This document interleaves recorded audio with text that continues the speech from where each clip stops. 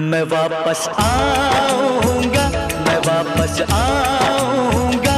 करम अपने गाँव में, उसी की छाँव में, कि माँ के आंचल से गा